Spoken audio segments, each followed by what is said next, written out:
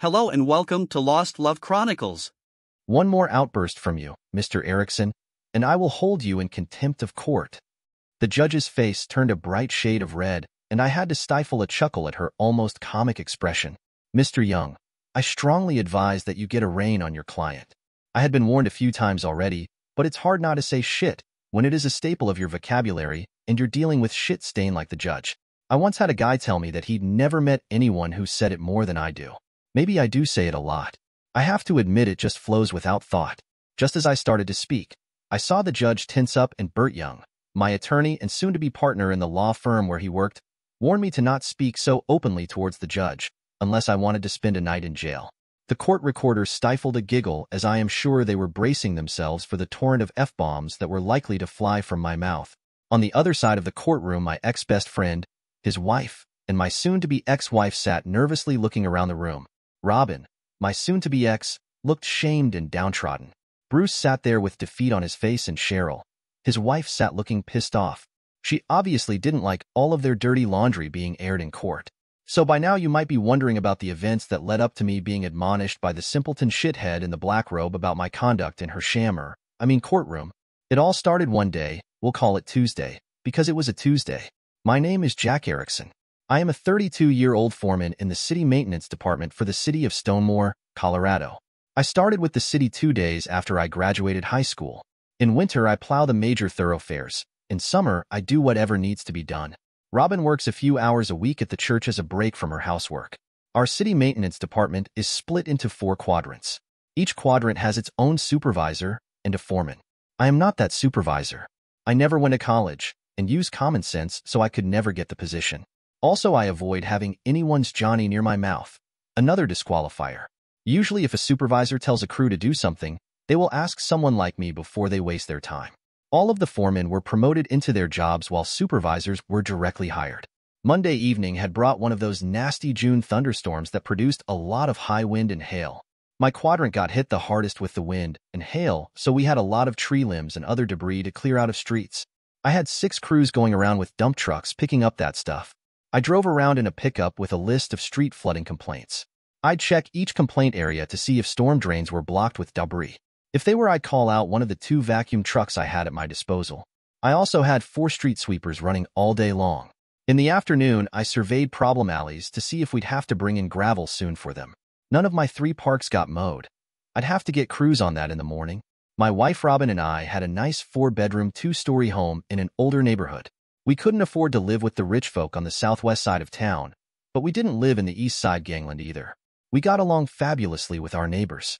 Tom and Jerry McBain lived next door, Ron and Cindy would live directly behind Robin and I, and my childhood friend Bruce Harris lived behind the McBains with his wife Cheryl. All four households got along so well that we had no fences separating our backyards. Bruce and I have been friends since we were in middle school. I got him in more trouble than he knew how to get out of, and to make matters worse, his parents were extra religious while mine gave less than a shit about what God said. Dad often told me as long as I didn't knock some girl up or cost him a bunch of money, he really didn't give a shit what I did. Most of the time, if Bruce's mom and dad were going to nail him for something, I'd tell them I did it, and he was mistakenly blamed. I know they hated me, so their opinion of me didn't really matter. Bruce grew up to be as religious as his parents, if not worse. He went to a Bible college and became a preacher. He is the pastor at one of the local churches. I don't go to church except for Easter and Christmas. Robin, on the other hand, goes to church religiously, pardon the pun. While Bruce was at Bible college, he met Cheryl. Cheryl could have been a Playboy playmate. Cheryl is 5 feet 7 inches 110 pounds, blonde hair, blue eyes, and had 36D minus 24 minus 34 figure. With all of that going on, she is a prayer machine. Bruce is like the yin to my yang, but there isn't a damn thing I wouldn't do for him. Or so I thought. I got home on Tuesday evening to find that I had to warm up leftover meatloaf from Sunday for dinner. I really didn't mind doing that, but my wife hadn't actually cooked a weekday meal in a few months. I wanted to sit and put away a 12-pack, but the red on the calendar for that day told me I could have one beer with dinner and no more the rest of the night. Red dot days were the days I was on emergency standby and could get called out at moment's notice to handle some issue. I ate my dinner while Robin showered. I wished she'd spend as much time paying attention to my little Johnny as she did in the damn shower. It was 7 p.m., and I wasn't sure if I'd see her again that evening. I got a half-assed, how was your day? When I got home, and that was about it. This bullshit had been going on now for a couple of months, and I was getting a bit tired of it. The worst part was our sex life. We used to get it on three, maybe four times a week. In the past three months, I had gotten Saturday night sex twice, missionary only, and two-week half-assed tug jobs. She didn't even seem to notice me anymore, and that night was no exception. So I watched the Rockies play the Padres on TV and wished I could get my Jagermeister on. Around 10 o'clock, I was contemplating going to bed when my phone rang. I figured it would be Bruce whining about the Rockies bats failing miserably that night, or asking me to have my guys do something around his church, but it was the City County Dispatch calling to tell me of a water main break on the north side of town near the Birchwood Mall. I packed a few snacks in my lunch cooler and headed out the door. I almost went upstairs and told Robin what was going on but decided, screw her. She didn't seem to give a shit anyway, so let the 304 figure out on her own that I wasn't coming to bed. I got to the city yard and got the keys I needed. While I was waiting for my crew, which would be made up of guys from every quad that night, plus a supervisor from the city water department and four of their guys, I hooked a trailer up to the new Kenworth dump truck and loaded a Caterpillar backhoe on it. By time I was done loading that my crew was there, and we all headed for the place where we figured the break was. When we got there, it was obvious that the Northwest crews hadn't gotten to the storm sewers here because the street was flooded. I sent a couple of guys back to get a vacuum truck. It was one o'clock in the morning before I pierced the pavement with the backhoe. With all of the water still on the street, it was slow going. By three o'clock, we had the pipe exposed and began hauling away the mud I had dug out of the hole. We would have fresh dry sand and gravel from the city gravel pit to fill the hole back in. At 8.45 a.m., the water guys had finally reconnected the pipe and tested their joint. The building inspector okayed the fix around 9.30, and by noon we were ready to repave the area. Since the paving would be handled by a separate contractor, I was able to get the equipment back to the yard by 1 o'clock. At 1.45, I was pulling into my driveway with the knowledge that I was off work until Friday now. I unlocked the door and went inside. Robin didn't appear to be home. She was off doing whatever the shit it was that she did all damn day, which lately didn't seem to include housework. I went into the kitchen to grab a beer and a sandwich. I had just closed the fridge when I heard the unmistakable sound of a woman getting the pounding of her life. I seemed to be coming from upstairs. I listened for a moment and was pretty sure the sound was from upstairs. No wonder you don't screw me anymore, you filthy woman, I said to myself as I headed out of the kitchen. I opened the coat closet and pulled my Kimber Custom Crimson 45 from its hiding place and made my way up the stairs. The sound was louder upstairs. I could see the door to the master bedroom was ajar, so I walked stealthily up to it. I jumped through the door and leveled the pistol at the bed. No one was there. I quickly checked the bathroom just off of the bedroom, and it too was deserted. Back in the hall, I was left with two choices. The guest bedroom door was closed. At least she respected our marriage bed, I thought to myself. I opened the door and once again leveled the pistol at an empty room. The only room I hadn't explored was Robin's craft room. I pictured her bent over her sewing table with the meat flying in and out of her tunnel, I kicked the door open and jumped into the room ready to kill. The room was empty, but the sound was loud in there. When I noticed the window overlooking the backyard was open, I looked out to see if she was screwing in the backyard. I saw that needed to mow my grass, but no one was in the yard. As I scanned the yards around my house, I got the shock of my life. What the hell is this shit? Tom and Jerry have a pool. I looked that way and saw Tommy and Brenda, the McBain children, pounding like rabbits on a chaise lounge by their pool. Tommy was a junior in college and Brenda was due to start her freshman year in the fall. She'd had a crush on me since she was 12 or so, and I absurdly wondered if she thought of me at that moment. Neither one of them was anything to look at. Brenda did have a killer body, though, and her bountiful jugs were wiggling wildly as Tommy pounded her. Then it struck me that I was witnessing inbreeding. I thought shit like this only happens in Mississippi and places like that. I said to myself, I knew I shouldn't watch, but it was like a train wreck. I just couldn't look away. I wondered if Tom or Jerry had any clue this shit was going on in their home. I doubted it. They weren't as straight-laced as Bruce and Cheryl, but I doubt even the wildest people I knew would condone that. I bet they're watching us. Look at them, Bryn, said Tommy. Oh, hell that's so hot, said Brenda. She looked to her left and I followed her gaze. I could see Bruce's bare back in the upstairs window of his house. He was obviously drilling Cheryl. I thought I'd hang for a few minutes as that might have been the only chance I'd ever get to see Cheryl naked. Then Bruce and his partner turned around. Holy shit. I yelled so loudly that the sex stopped in the yard below. I couldn't believe what I was seeing. Bruce was pounding my Robin. I froze, not sure exactly what to do. I raised the pistol up and took aim at Bruce. Movement below caught my attention at the last second. It was Tommy and Brenda running stark naked for their house. I looked back up intending to send some lead Bruce's way, only to find that they had left the window. God-damned filthy woman. I yelled as I went down the stairs. I stopped in my den long enough to grab my Mossberg bullpup and slam a handful of zero-zero buck shells into the mag Bruce was going to die. The 304 was going to die. Cheryl's stupid cat and parakeet were fair game as well. I was going to kick his door in and lay waste to him and his 304. I tucked the pistol into the waist of my jeans and headed out of the door. I stopped about halfway down my driveway and just stood. I now understood a lot of things. I knew why my house wasn't clean. I knew why my meals came out of the freezer. I knew why my little Johnny was neglected. I knew why the 304 took so many showers that they were ready to name the city reservoir after me. I walked back up my driveway and got into my truck. I backed out and left tire marks on the street as I headed for Lowe's. On the way, I contemplated everything I knew now. She never cooked anymore because Bruce was wearing her out. She couldn't operate a mop or vacuum cleaner while she was getting her freak on either.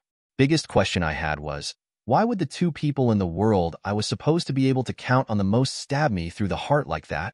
I was on autopilot. I got to Lowe's and went directly to the door section and picked up three new lock sets. Jeannie at the paint counter waved at me, and I almost didn't notice. I half-assed waved back. When I got home, Brenda and Tommy were waiting in my driveway. What do these perverts want? I asked myself. They looked like I was going to march them off to the gallows. Brenda offered me a sheepish smile. We're sorry to have disturbed you, Mr. Erickson. We didn't mean to offend you. It's just... I cut her off.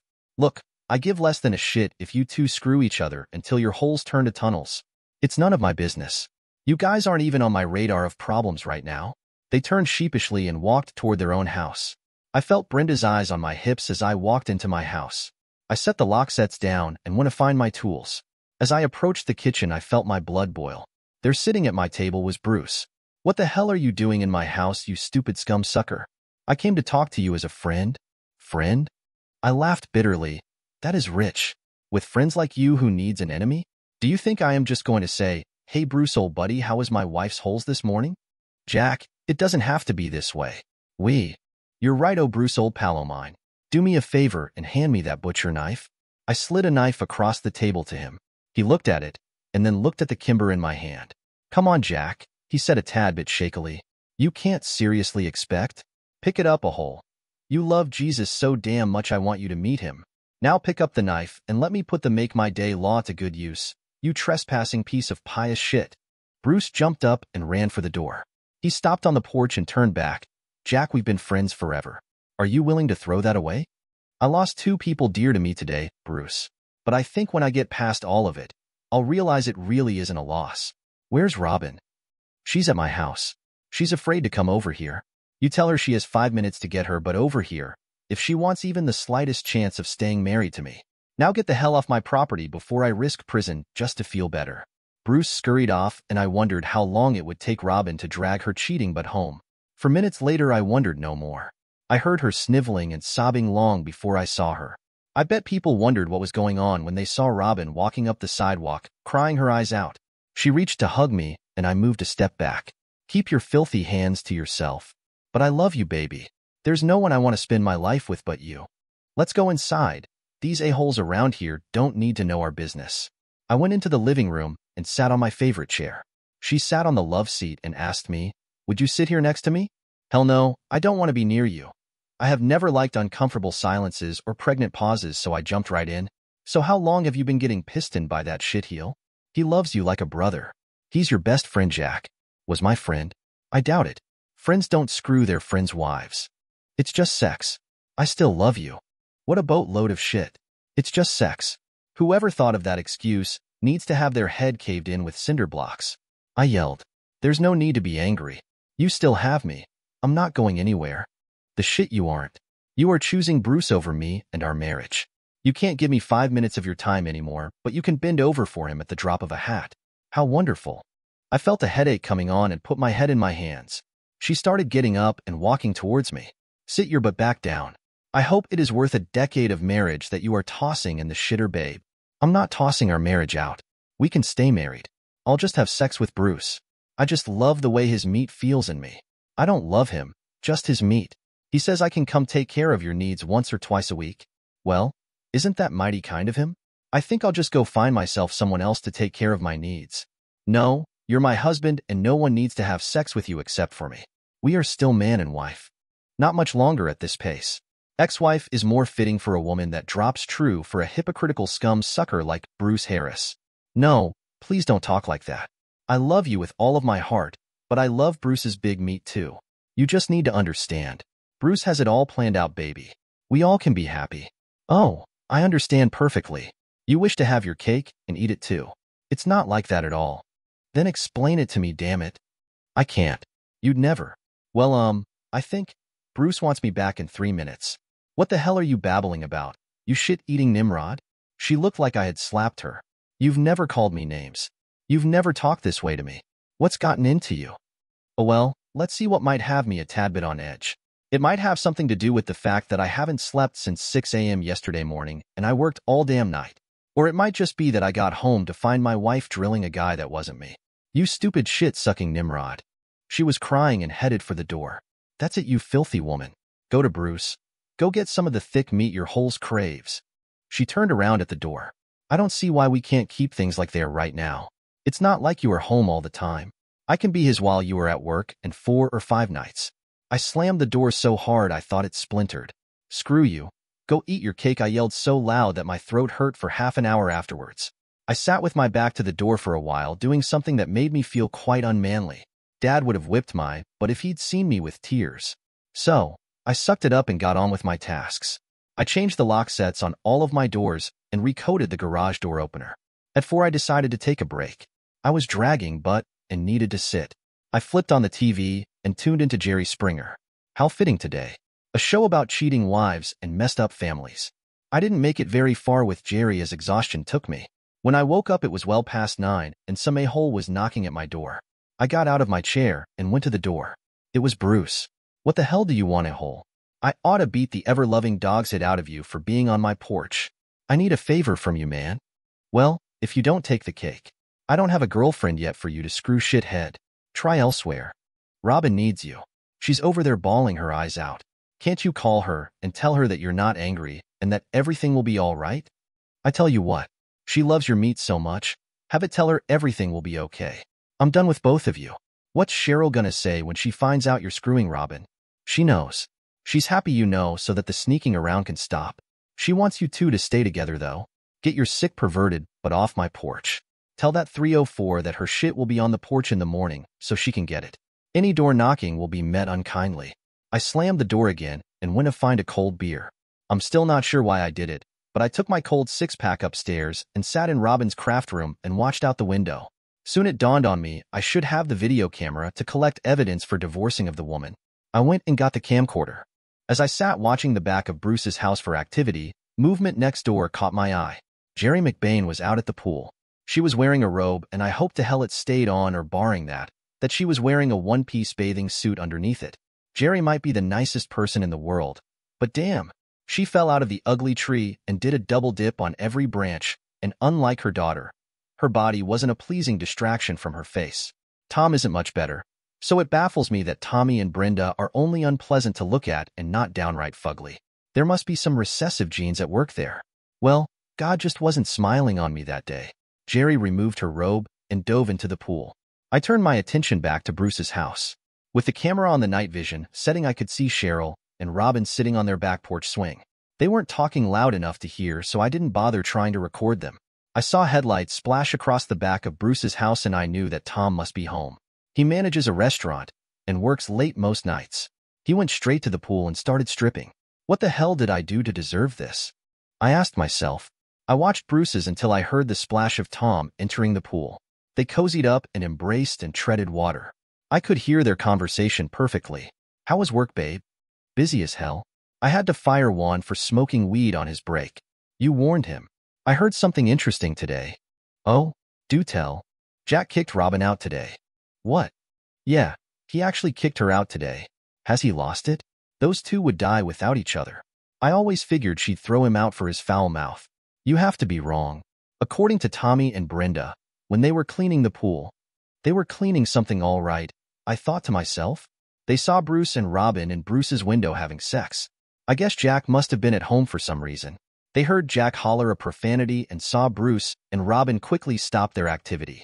They said Jack left the house and came back with a Lowe's bag and changed the locks on the house. I guess later Robin came over, and when she left, he slammed the door and called her a 304. I can't believe it, said Tom. I'll have to see Jack tomorrow and make sure he's okay. I would like for you to stay away from Bruce. I always thought he looked at you and Robin a lot closer than he should have. I shuddered at the thought of Bruce mentally undressing Jerry. The sick shit. Brenda said she was going to take him a cake tomorrow to cheer him up. She's always thought highly of Jack. He's crude as hell, but I can't think of anyone else I'd want on my side. I saw him this morning working on a street by the mall. Was he wearing a hard hat? Yes. You and your construction worker fetish. Maybe I can get Jack to model it for you. I shuddered again. Normally a guy loves to hear that a member of the fairer sex finds him attractive, but for the first few weeks that we lived next to Tom and Jerry I thought they were a gay couple. Jerry can look quite manly. You're so bad, she told him. I can't for the life of me figure why Robin would rather screw Bruce when she has Jack at home. You're starting to make me get a complex. You know you're the only hunk for me, my sexy man. When I realized that a screwing was afoot, I decided to go to bed. I wasn't sure I'd sleep, but if I did, I didn't want to have nightmares about Tom and Jerry knocking boots. I turned a radio on just for some noise and heard the heavy metal grindcore show playing on the college radio station. I lay there listening to kick-ass tracks by Carcass, Deicide, and Obituary. Just before the show was over, they played Cannibal Corpse's Make Them Suffer. As I listened to the song, I realized I wanted to make Bruce and Robin suffer. So as corpse grinder, Fisher admonished me to make them suffer, make them suffer, make them suffer. I said, I will corpse grinder. I will. I was awakened the next morning by some douchebag pounding on my door. I shook off the last vestiges of sleep and went down to see who had an early morning death wish. I opened the door, ready to yell at Robin for disturbing me, only to find Cheryl Harris. Oh, it's you. What the hell do you want? Robin's shit isn't packed just yet. I don't want you to pack her stuff, Jack. I want you to let her come back home. And here I thought you were going to ask for some unreasonable shit. I'm going back to bed. I started to close the door, and she put her hand in the way. Wait, Jack. Why are you doing this? Robin is hurting for you, and you won't consider her feelings. What's to consider? She wants to be with you and Bruce more than she does me. I am allowing her to be with you too and I am staying out of the way. Bruce and I can't have her live with us. We have an image we have to protect. You shit-eating perverts should have thought of that shit before you pulled my wife into your sick game. Why can't she live with you? Really? You don't see a problem here? I gave her a chance to stay. She chose your husband's meat over me. The most screwed up thing about it is that you don't seem to have a problem with it but I do. Now leave me the hell alone. Will you? She still loves you, Jack. We didn't want to take her away from you. We love her and you as well. I hate to see you throw your friendship with Bruce away. He's dead to me. So is she. You can't mean that, Jack. She will still take care of your needs. Oh, why didn't you say so sooner? I feed and board her. Buy her clothes, car, and everything she needs. She continues to screw you too, and I get tugged off once a week. Bruce gets his harem and doesn't have to pay upkeep. Screw that. Do I get sex time with you? Sorry, Jack. I am a one-man woman. A one-man woman. I said bemusedly, man I'd sure like one of those. Well then, that's what I have to go find. Tell the 304 her shit will be out here in an hour or so. Come on, Jack. Stop acting like a caveman and join the modern age. Bruce and I have an image to keep up for our church. We can't have Robin living with us. Well, it sounds as if you have a dilemma. Sucks to be you. I slammed the door and went to make me some bacon. Screw their image. I said to myself, I can't believe anyone thought I'd go for this stupid idea. They want to appear squeaky clean while having wild sex with my wife. Corpse Grinder's words came back to me. Make them suffer. I called a guy that I worked with and asked him who had handled his divorce.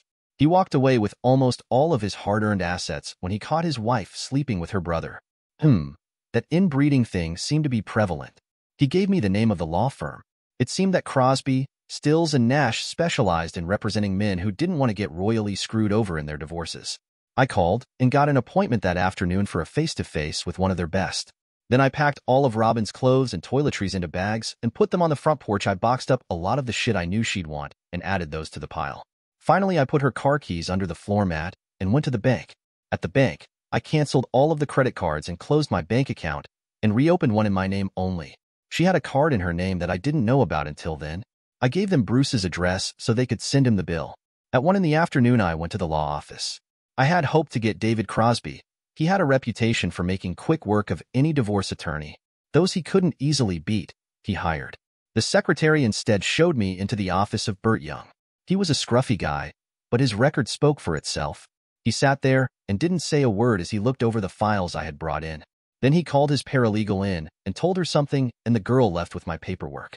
Mr. Erickson, I think we can get you everything you want and take the preacher down a notch or two. Do you have photo or video proof? No, but the neighbor kids saw them too. I just want her out of my life. I don't care what she does after that. The paralegal brought in a bunch of papers and I started signing. Burt explained what each one was and why it was necessary. Then he gave me a list of things I needed to do. I had already done a few of them. I gave him his retainer and went home to nap. Robin's stuff was gone when I got home. There was a note taped to my door. I took it inside and lay down on the couch. Springer was on. The note was from Robin, imploring me to allow her to come home. No mention of giving up Bruce's meat.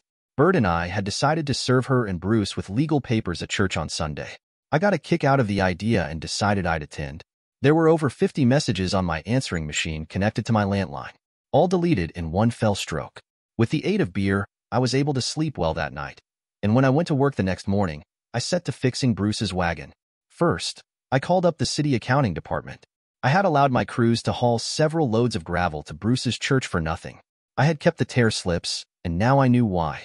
Janice assured me the bill would be entered as late or unpaid so Bruce would be getting a call from the collection department.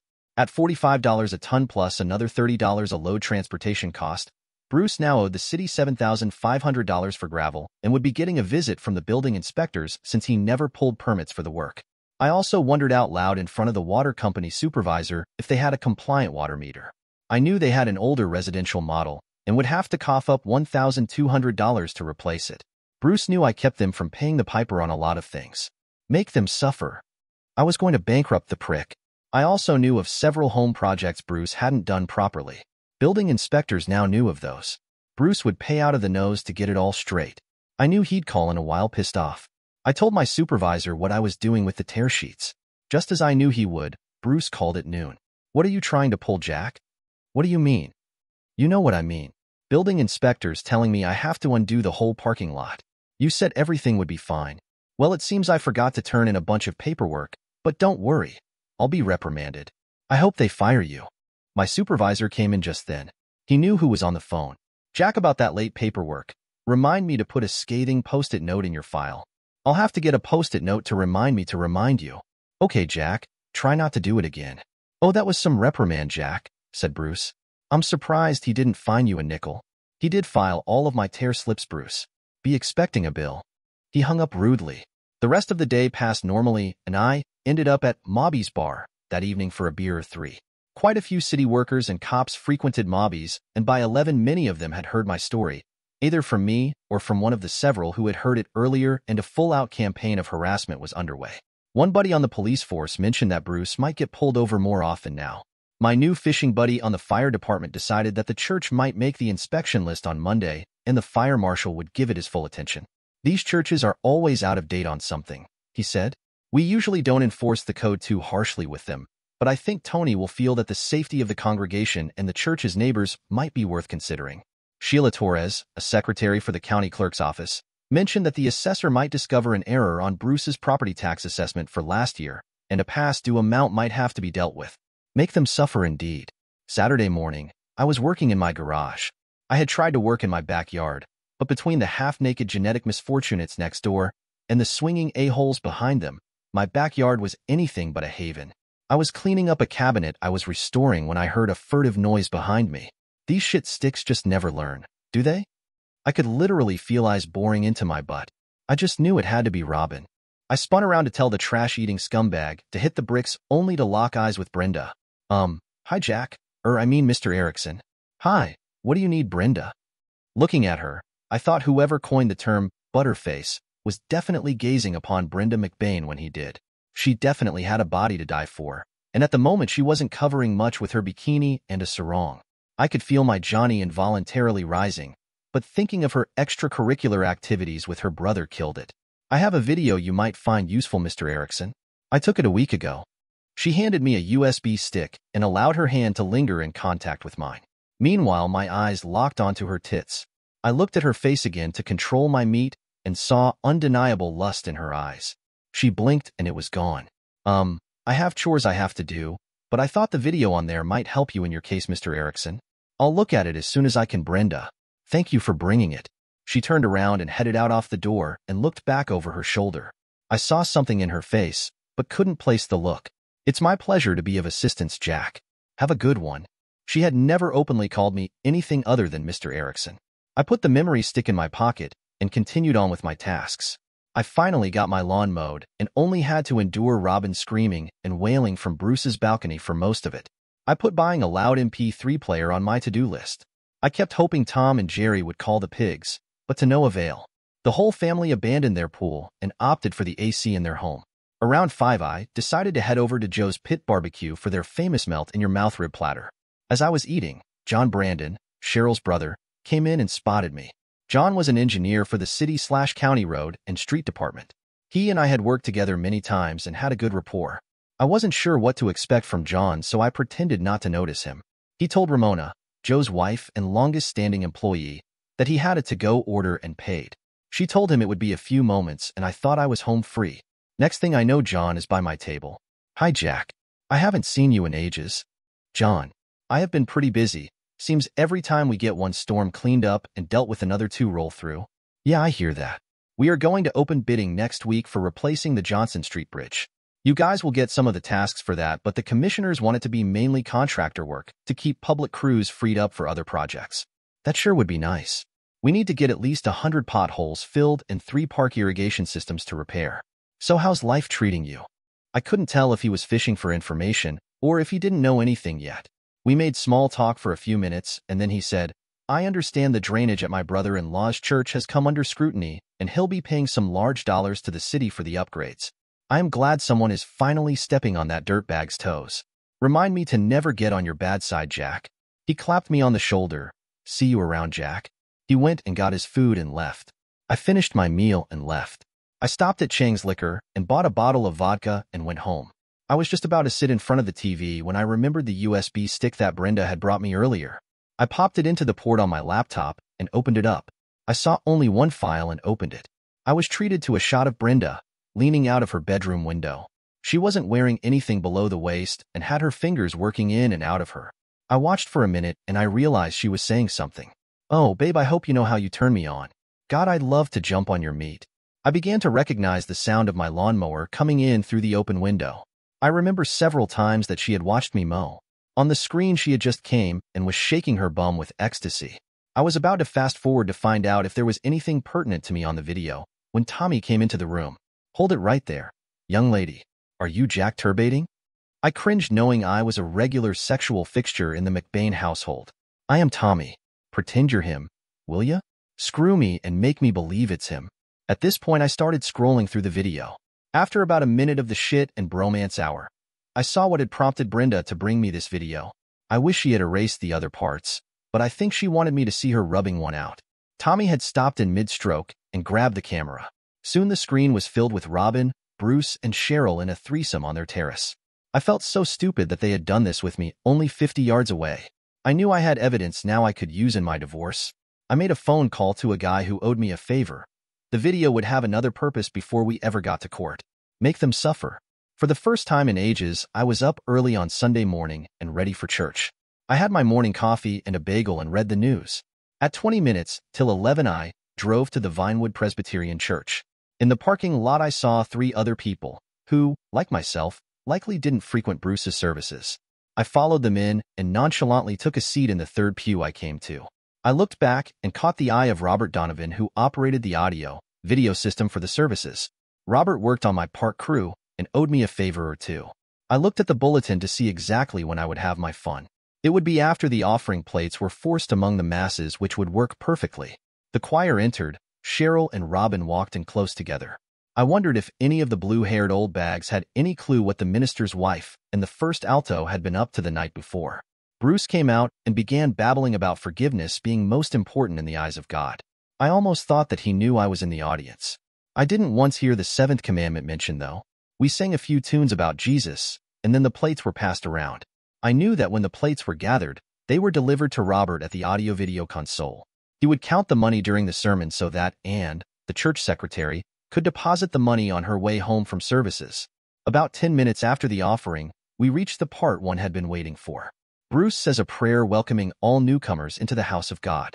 Then he asked that all of the guests attending please come forward and introduce themselves. My three guests all stood from their various positions around the congregation and went to the pulpit. The little shitter next to me started to tell me to go, but his mom stifled him instantly with a pop to the back of the head. I had to chuckle. Bruce shook hands with each and asked them to introduce themselves. A young brunette spoke first. I am here to see Cheryl Harris. Cheryl, looking puzzled, came forward as the brunette handed the mic to a pimply-faced red-haired kid. I'm here to see Robin Erickson, he said. Robin came down and joined Cheryl in front of the three. Pimples handed the mic to their boss's son Neil Young. Bruce Harris, Cheryl Harris, and Robin Erickson, you have all three been served. With that, the three simultaneously pushed documents into the astonished lover's hands. At that point, Bruce got his microphone back and asked, Why have you defiled my sanctuary this way? As if on cue, Robert streamed the video clip that I had carefully edited to protect my disgusting neighbors on the bid projection screen behind the pulpit. The image of Bruce, Cheryl, and Robin writhing naked around the patio was larger than life in front of the congregation. I saw four or five old biddies reaching for their jitterbugs, and I knew the cops would be here soon. One old lady approached Bruce and racked his nuts with her cane. At some point during the melee, Robin read her paper and let loose a blood-curdling scream. I was headed for the door and turned to see who was slaughtering her shit. Unfortunately, both she and Bruce saw me, and she came running. Bruce couldn't have run if the Nazis had been coming to toss him into an oven. I spun for the door to only be met by a pig who must have been at the donut shop across the street. Days later, after all of the dust had died down and the DA had refused to file charges against me, Bruce had the privacy fence installed that his restraining order against me required. Sure, I wasn't allowed anywhere near his church, except on city business, but he wasn't allowed to harass me either. Even better, Robin was included in the order and only allowed to contact me through Burt Young. Sonny Bono, our assistant DA had even chuckled a bit when I told him how I had slipped the USB stick into the collection plate for Robert to find. Bruce had been screaming for me to be charged with trespassing, but since it was a public service, he didn't get far with his squawking. Robert was relieved of his duties, but due to Bruce not wanting any more publicity, he didn't say a word when Robert took a job at the Presbyterian church across town. Burt Young called me two days later to inform me that we'd go before the Honorable Sonia Kagan in two weeks to begin proceedings. She can be a real ball buster. She tends to give the wife more leeway than the husband, but since you already own the house, there's not too many ways she can screw you. She always gives alimony to cheaters, though, which makes me a bit nervous. My immediate supervisor is a kid just out of college. I pretty much call the shots in my quad since he never overrides me. He knows I know the shit and leaves it at that. The supervisor of two other quads are easygoing, but don't let their foreman have as much control, but they'll get out there and work with their crews. It's best if my supervisor stays in his office. Marvin Taylor is the supervisor for the worst quad in town. He neither gives his leads any rein, nor does he help his crews. Marvin is one of those guys you just walk the other way if you see him coming. Dick is probably the best term for him. Most guys say they'd rather pull their ball hair out with pliers than spend five minutes talking to Marvin. Most of us believe he caught some member of city council sexing up their dog, or he was the mayor's gay lover, and that's how he has managed to keep his job this long. Luckily, I rarely saw Marvin. Every great once in a while, he'd actually see me in my office when he had nothing going on and stop in. Today, he obviously had nothing pressing and graced me with his presence. I knew that if he managed to have a five-minute conversation and not say anything racist and or sexist, it would snow five feet tomorrow, even though the 4th of July was only a week away. So, Jackie boy, I hear tell that you are getting his divorce. What happened? She catch you with your schlong in the cat's poop chute. I wasn't about to tell this shit stick the truth. No, I just got tired of her shit. Do you have a judge yet? Yeah, Judge Kagan is hearing the case. That horrifying witch? She screwed my boy royally in his divorce. Gave that brother lovin' 304 he married the house and the kids, and Jeff get to pay for both. I hope you have a good attorney, Jack. Jeff went in with some kike he found in the free ads. I wondered if Marvin ever thought about the shit he spewed. He managed to defile two races in one fell swoop. I wondered if he ever talked this way in front of Jimmy Raines. Jimmy was Marvin's foreman and was 6 feet 5 inches, 240 pounds and African-American. Jimmy had played linebacker for the New York Giants and on the surface appeared as if he would kill you for looking at him. I learned, however, that after a beer or two, Jimmy was a riot. One evening we were at Mobby's and had been drinking for at least three hours. Each time one of a group of five frat boys would approach the bathroom, Jimmy would get up and haul shit in there, eyeballing the frat boy all the way. They finally left without ever going to the head. Jimmy thought it was hilarious. Zeke the bartender, who was six foot five and went 320, politely asked Jimmy to stop screwing with the college shitters and told us that our next pitcher was on him. Jimmy was a great guy, but I have my doubts he'd find humor in Marvin's rampant use of the N-word. It was Jimmy that saved me from Marvin's further bullshit by appearing and telling him that they needed to get out to the site where his most inept crew. They were all inept because once guys realized what a jerk-off Marvin was they transferred or quit, were replacing a storm sewer drain. As Marvin and Jimmy moved on down the hall I said a quiet prayer of thanks for Jimmy and his timely appearance. In two weeks, I'd be in front of that horrifying shithead, and I doubted Jimmy could put in an appearance and get me out of that one. But hey, I thought to myself, maybe it won't be all that bad. What the hell kind of stupid commie pinko bullshit is this? On the bench in her black robe, Judge Sonia Kagan sat unflinching as a torrent of filth erupted from me. This stupid, which had actually ordered my stupid soon-to-be ex-wife's request for couples counseling to be undertaken. When I had stated I wouldn't go she threatened me with jail. I turned to Burt, come on shithead. You gotta tell this which that the therapy shit ain't flying. I looked at the judge and said, I just want to be rid of this skanky holes and her preacher sex pals there. Bruce hung his head as if he wanted to disappear. Cheryl was pissed off, and if looks could kill I'd have been on my way to St. Peter long before that particular speech. Burt had subpoenaed the Harrises as material witnesses. They had fought it only to be threatened with a failure to appear charge if they didn't show. Their congregation had already dwindled to the point that Bruce's two Sunday services for 150 or so parishioners had become one service for 10 who either couldn't find another church or just want to see if an orgy might occur, and three representatives from the main church in Denver planning to get a new parson in to replace Bruce. The once proud choir of 20 was now Cheryl, Robin, and old Charles Brown. First and foremost, it's only sex. I wondered if she'd buy that horseshit for me if I'd been caught with my pickle in Rebecca Sanders' pickle jar. Becky was Robin's best friend in college. The night that Robin dumped Jim Smith for me, Becky hooked up with him. From that point on, Becky has been known as the 304 of all 304s. Jack works a lot of hours sometimes, and I feel, opening my list of cheaters excuse numero dos, feeling neglected or unromanced. I don't know what the bullshit about my hours was. I worked from 7 a.m. till 4 p.m. Monday through Friday. I had only been called away at night four times in the past year and a half. My first time with Bruce was all about curiosity. I had heard that Bruce had a larger than normal. Ah, skank point number three. Curiosity. How many worthless scum dumpsters over the ages have used the excuse of wanting to know what a bigger meat felt like, or how sex with a different man was, as an excuse to go grab some non-husband schlong. As she went on about that, I recalled exactly how I had hooked up with her. Homecoming meant more to some at Southern Colorado State than it did to others. Others went and supported the team, no matter how bad they got creamed. Most of us just knew that the parties were going to be outrageous. Willie Barnes' bonfire and drunken fest on the eastern prairie was no different than any other bash around town. Willie was 45 years old, but held the bash on his uncle's ranch every homecoming without fail. The old pervert got off on the possibility of college and high school girls shucking their clothes and him getting to roam about and watch. Willie got arrested five years later when six girls complained that he assaulted them and charges stuck for three of them. Homecoming of Robin's junior year was truly special as the Fighting Farmers actually won their game. Now half of the opposing team had stomach flu, but SCS won, and that was all that mattered. I wasn't a student. I worked for a living and hoped one day to afford some classes. I worked part-time for the city and part-time as campus maintenance.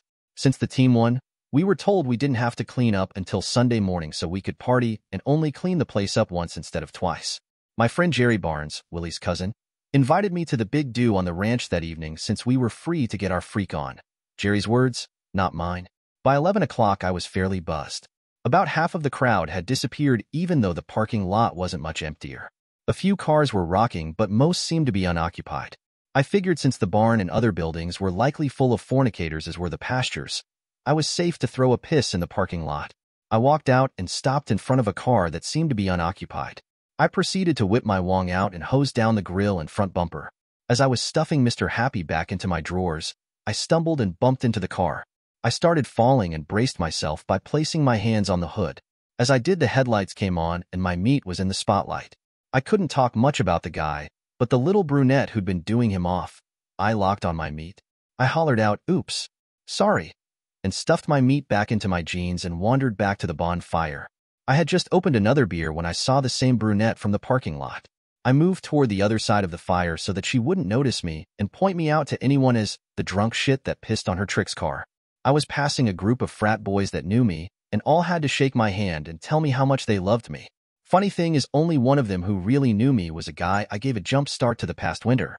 As the guys were doing the drunk brother love thing, I felt a hand brush my hips. I spun to see the brunette walking away and wonder what had happened.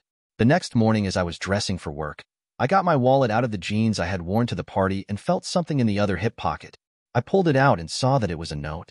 If you like what you saw as much as I liked what I saw, Call me at your earliest convenience, Robin. A phone number was written at the bottom. I spent most of the day cleaning up debris from the celebratory students and wondering if the note was genuine. During my final break, I decided to give the number a call. Hello? Hi. May I speak to Robin? She's not here. Can I take a message? Tell her the guy from the party called, and he liked what he saw. I left my number and went back to work. I then wondered if I had left my number for some chick that wasn't the brunette. I might have been baited into dating the skankiest 304 on campus, or the ugliest trans around for all I knew. That evening as I was settling in to watch the Bronco game I had taped earlier, my phone rang. I picked it up without even looking to see who was calling. Yeah? I don't know your name, but I've seen your package, said this moderately gruff but feminine voice. I was thinking my number had been given to a tranny for sure. Should I just call you Moby Dick? Nope. Jack will work just fine. Robin, is it? Yes, it's Robin. Sorry my voice is hoarse from yelling at the game yesterday. Yelling at the game, or? Listen, would you like to meet me at Frankie's Inn, say an hour? I'd like to see your face better and show you I'm not part of a prank.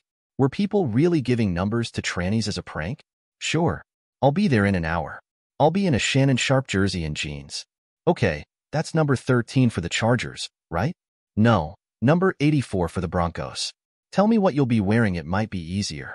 She described in great detail what she'd be wearing, and 45 minutes later, I was perched in Frankie's cafe watching the door. I wasn't wearing the jersey just in case I had to slip out when a Dior-wearing dude bebopped through the door. 20 minutes later, I saw her walk in. She was wearing exactly what she said she'd be wearing and looking quite hot. As she scanned the room, I felt like a schmuck for not wearing the jersey. I stood and waved at her, and she headed my way with a puzzled look. Two or three guys stopped her on her way, but she quickly greeted and dismissed each one. Funny-looking Bronco jersey Jack. Afraid of a switcheroo being pulled on you? Honestly, I wanted to make an escape if you turned out to be not as advertised. I guess I can't really blame you there. We drank coffee and ate pie until closing time, and then said our goodnights. I dated her for at least a month before we got intimate. On the Saturday night that I knew I was going to put my moves on, I called Bruce to tell him I was getting serious with a girl. He told me to make sure our feelings were true before I set her up for heartache. I chuckled out loud as I recalled his words to me. Funny, ten years later she'd break my heart because of him. I realized I had chuckled out loud when I looked up and Robin and Dr. Landers were looking at me like I had just shit on the fruit salad. Do you find amusement in Robin's pain, Mr. Erickson? More like amusement in my own pain. I do believe I owe Gary Wayne a much long overdue apology. Robin looked puzzled at the mention of Gary.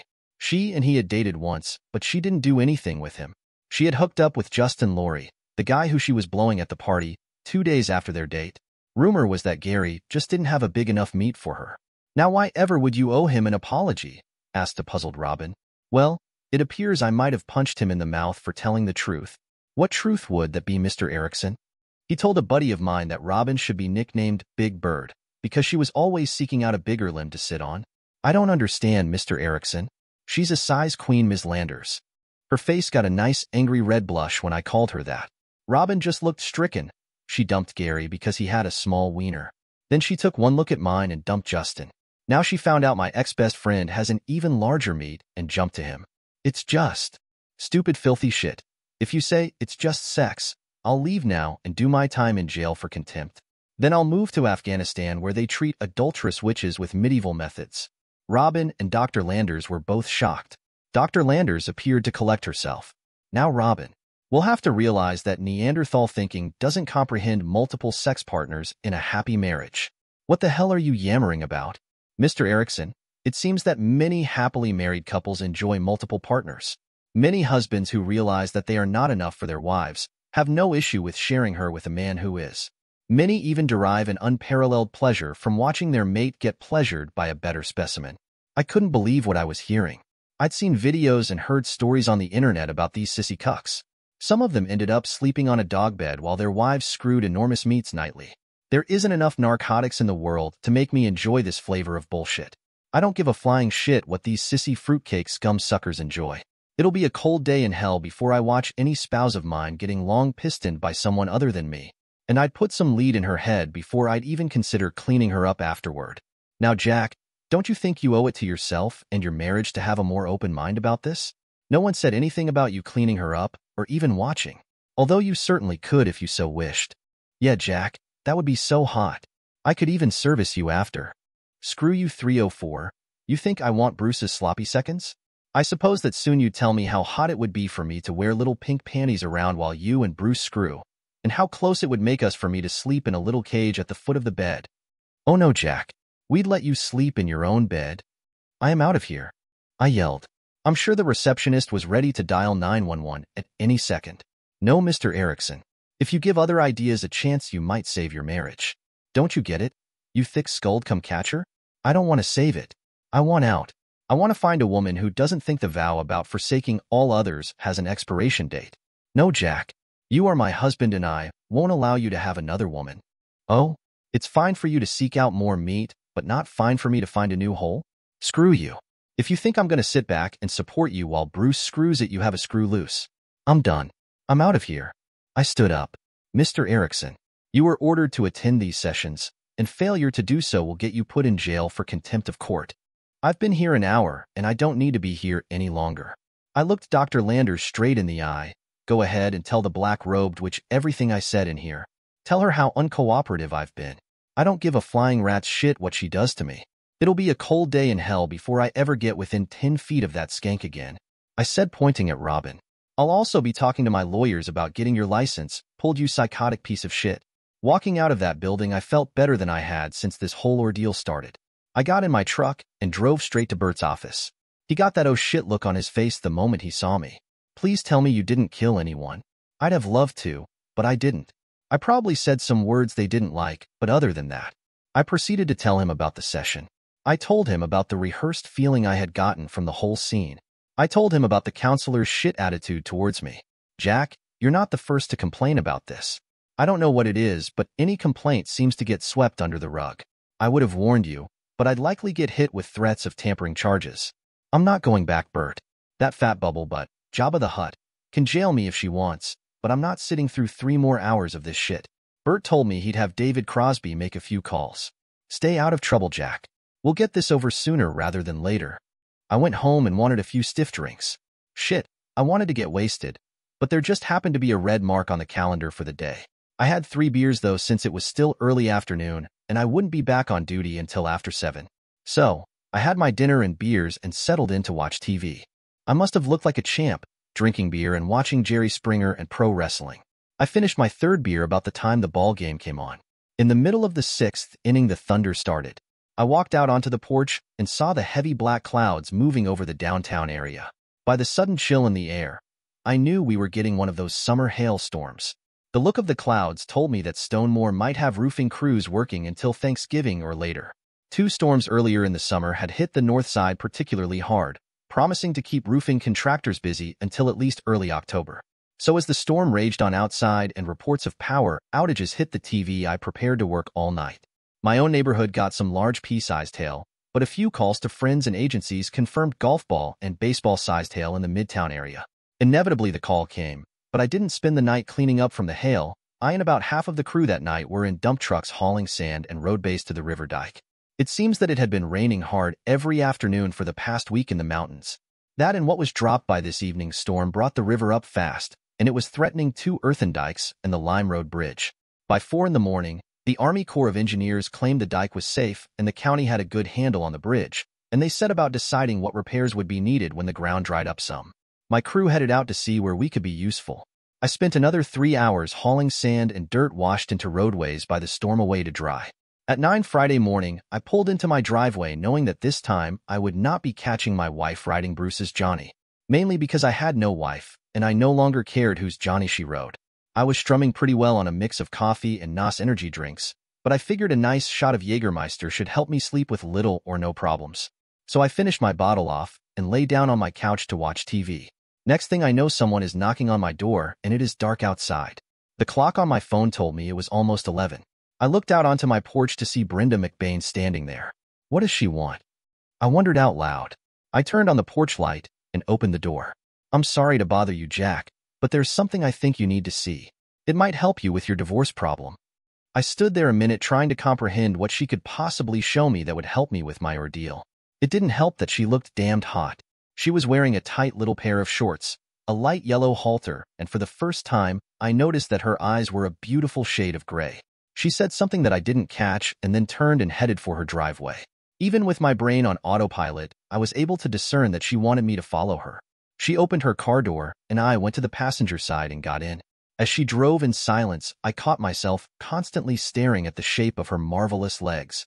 I had thought that Robin and Cheryl had some nice gams. They had chicken legs compared to Brenda. I think she caught me staring a time or two, because her smile would widen. I caught myself staring at her body, almost inappropriately, several times. In profile, her face wasn't as bad as it seemed. Brenda drove me to a group of abandoned buildings downtown. The city had bought all of the buildings in a hope to make revenue from developers that had been buying property in the area about 12 years ago. Funny thing was, every time someone made a bid on these properties, the board that controlled sales of city property nixed the deal. This board was made up of five trustees, and all five had to vote for a sale to be completed. Their votes were by secret sealed ballot, so nobody knew who nixed the deals. It had cost the city a great deal in upkeep and security to keep vagrants out. Two years ago, they had a 10-foot chain link fence installed to keep people out. We parked in the old power plant parking lot, which seemed to have more cars parked in it than there should be. Brenda, what are we doing here? We could get into huge problems if we're caught. Come on, Jack. You'll see in a few. I'm positive this will help you in a big way. For the life of me, I couldn't figure out how getting arrested for trespassing would help me win a divorce that seemed to be going awry, but I followed Brenda anyway. She came to a spot in the fence and walked through. I got to the fence and saw that it had been cut. I was about to ask Brenda who had cut it when I saw she was 30 feet away, approaching a basement window of the old King James Hotel. I caught up to her, and she motioned me to the window. She pointed to a spot where I could see light coming out of the window. What the hell? I knew the power had been cut to the building years ago, yet there was light. I looked through and realized why Brenda had brought me here. As I gasped in surprise and took in the scene, Brenda handed me her camcorder.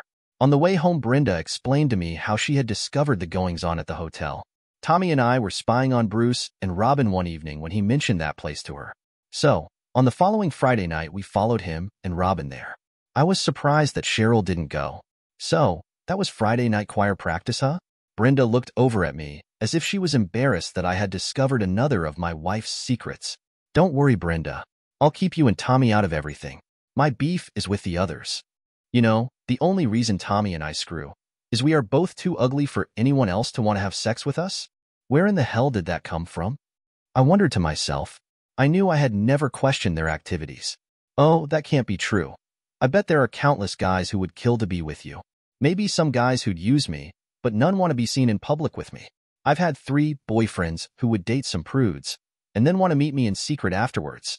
I hear the jokes, Jack. They call me Butterface, you know, Killer body. Oh, but her face. And they call me a three-bagger. You know a bag on my head, one on his in case. Mine falls off, and one by the door for anyone who might accidentally walk in. I'm good enough to have sex in the dark and in secret, but not to be dated or shown off in public. Come on, Brenda. It can't be all that bad. If I was a guy your age, I'd be all over you. I felt like a true a-hole for lying to her, but she was on the verge of tears and she had just helped me out big time. You have indeed helped me out tremendously, and I'd, like to take you out to dinner tomorrow evening. So, you get all dolled up and I'll pick you up at 7, okay? You don't have to give me pity, Jack. Besides, I am going to Denver tomorrow morning and we'll be gone until Sunday evening. It's not pity, and if you want, I'll take a rain check on the dinner. She agreed to the rain check, and I got out of the car and went inside. I had the a-holes where I wanted them. In the morning, I'd make a few phone calls. By Thursday, everything was in place. I had called Burt first, while I have to warn you that what you are doing is considered extortion, I do think it will work. Damn. No wonder that witch always orders the things she does. My next call had gone to Mike Starr. Mike and I had been buddies in high school, and now he was an investigative reporter for the local TV news. I gave him copies of the video and all of the pertinent details.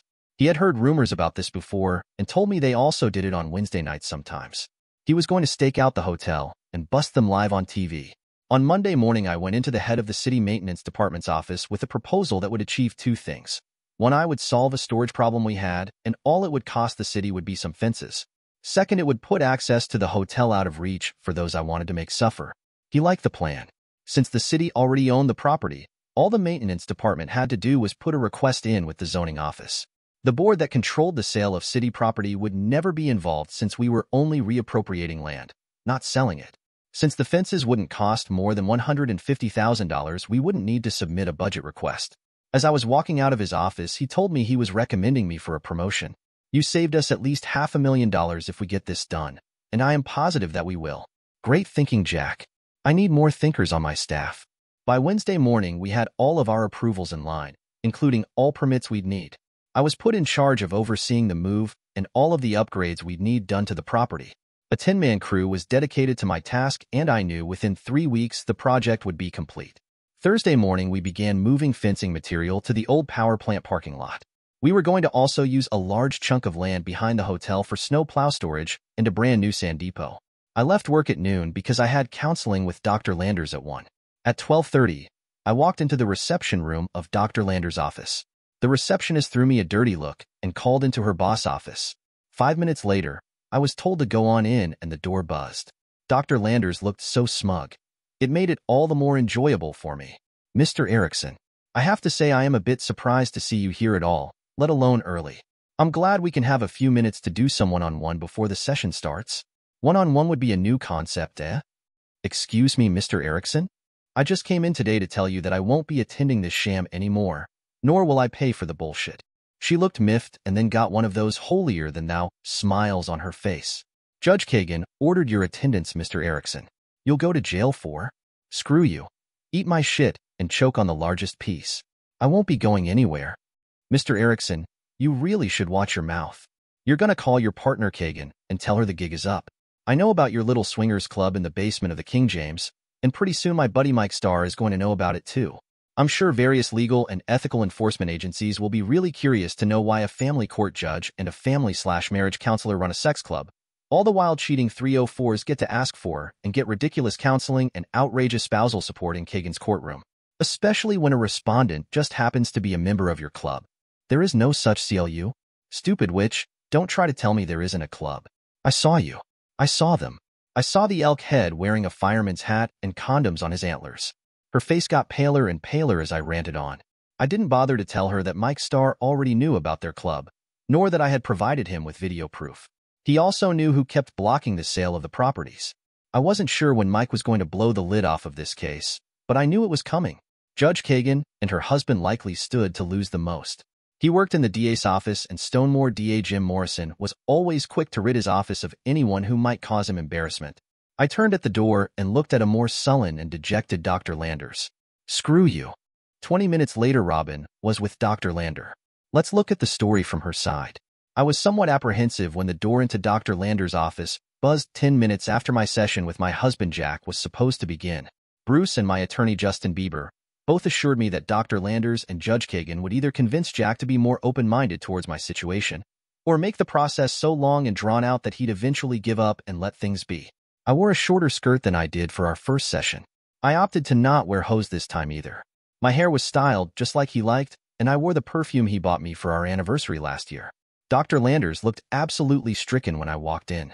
I noticed Jack was not there and assumed that Abby had suffered some family tragedy and dismissed him already. I was upset that I wouldn't get to see him today. No matter how black his hate for me was, my love was still strong. I was not allowed to walk down either side of our street or be on the back balcony while Jack was home. Is Jack risking jail just to avoid the session? I asked her. I knew she didn't like the macho man, type of guys like Jack. And with Jack's boisterous attitude and foul mouth, she had more trouble dealing with him than many other men. There's no session today, Robin. I'll call and let you know the situation when I know more. She pushed a button and the door buzzed open. I looked back at the once confident woman and wondered what had happened to shake her. I drove to the church to see Bruce since I had extra time. I was looking forward to the Swingers Club the next night. I was going to try double entry for the first time. Bruce was going to be in my, but while Terry Kagan screws me, I was so hot just from the thought that if I found Bruce alone at the church, he'd get jumped. I wish Jack would loosen up and join in. The thought of my Jack and Bruce doing me at the same time almost made me climax without even touching me. I could even smell my own fragrance as I got out of the car at the church. Bruce was on the phone when I went in. He looked to be in a foul mood, but then again he'd been in a foul mood since Jack found out about us. The look he gave me as I entered his office let me know I'd have to wait to scratch my itch. That was Terry. There will be no club meeting tonight. It seems Jack found out about it all and has threatened to call his buddy Mike Starr in on the whole club. I don't know how he found out about it, but he now can embarrass a whole lot of people. I'm regretting ever hooking up with you, Robin. I swear your holes are not worth all this trouble. I was stunned. A few months ago, he wanted me over every day of the week. He told me that I was far better than Cheryl and a more fun as well. And now with a little pushback from Jack, I was suddenly out of favor. Just after dinner that night, my attorney called. He told me that we'd been moved up and we had a hearing in the morning. He told me that the only time he'd ever seen a judge move a hearing up like this was because the filing party had dropped their petition for divorce. I asked if it could be a contempt of court hearing for Jack. Justin said he seriously doubted that if Jack was being called before the judge, we wouldn't have been ordered in. He told me to sleep well and that he had good feelings for tomorrow. Bruce seemed to cheer up a bit at my news.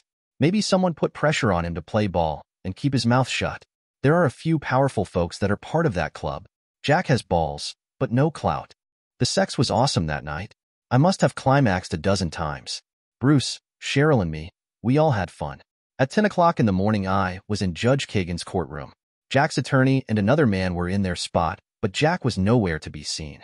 I asked Justin if Jack would be in trouble for not being here. Not likely. He might be off somewhere licking his wounds. What I don't understand is why Graham Nash is here. He hasn't actually been in a courtroom in six years. Something is definitely going on. Judge Kagan entered and called the court to order. Jack's attorney and Mr. Nash asked to approach. Justin went up as well and the four stood talking at the bench for at least 20 minutes. Justin looked troubled when he returned to my table, but I didn't get a chance to ask him before the judge banged her gavel and pronounced that in 90 days, the marriage of Jack and Robin Erickson would be dissolved. She then told me that I would receive no alimony or support from Jack. He was being ordered to turn over 25% of his retirement to me, as well as 40% of our liquid assets, which meant cash according to Justin.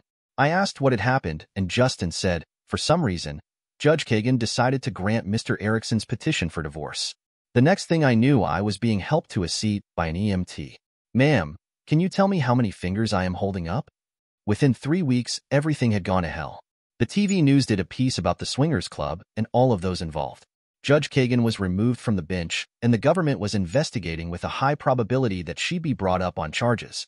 Her husband was fired immediately and brought up on charges stemming from his involvement with a drug-running scheme that was uncovered during the scandal. Justin Bieber was disbarred because he was discovered to have had sex with a few of his male clients, and he'd thrown cases for Judge Kagan. He was also involved in the drug ring that had been busted in one of the city high schools. Dr. Landers was ordered to repay 30 different clients that Judge Kagan had sent her. She was found in her bathtub with her wrists slit. Her husband was found on the toilet next to her with a self-inflicted gunshot wound to the head. Bruce was asked to step down from his ministry. His severance from the church would barely cover his moving expenses. Cheryl filed for divorce after catching him jacking off while watching Jerry and Brenda McBain swimming. She said it was because of that, but mainly she was tired of his libido leading her to trouble and embarrassment. Bruce blamed me for all of the trouble and told me he wouldn't be taking me with him. I moved into a small apartment with Cheryl until we could get our feet under us. I used most of the money I got from Jack to get our utilities on and helping Cheryl hire an attorney. Bruce tried to hire Crosby, Stills, Nash, and Young, but they refused him. Instead, he ended up with some no-named guy he found in the wanted paper, and Cheryl cleaned him out.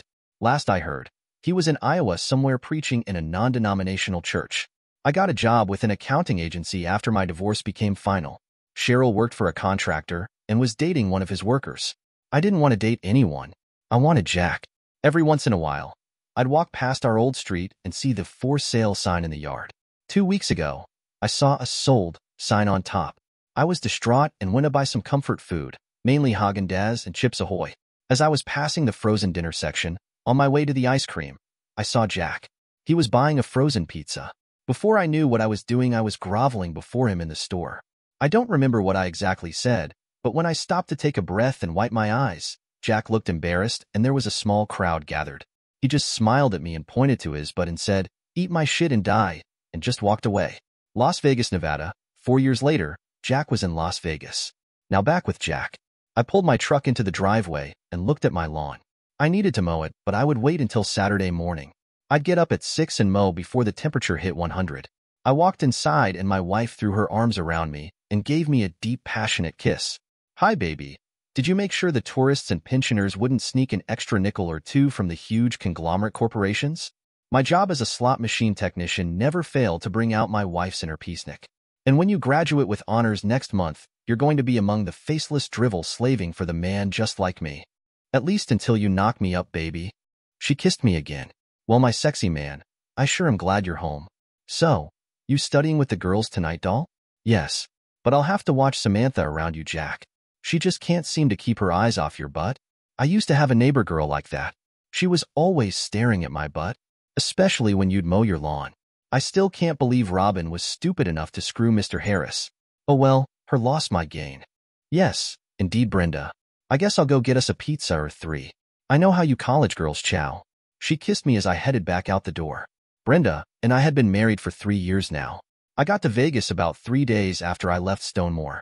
I know some folks would think I am a total a-hole for leaving Robin in the motel and Casper the way I did, but there was no way I was going to ever trust that meat monger witch again. She had been asleep about 10 minutes when I slipped out and paid for the use of the room. I didn't know how long it would take for her to get someone to come get her, so I bought her three days' time. Thanks to Nas and NoDoz, I made it to Utah before sunup. Two days later, I was pulling into Las Vegas. Within a week, I had a job and a place to stay. I used my revenue from the sale of my house and my retirement fund to buy a house. Two weeks later, as planned, Brenda showed up.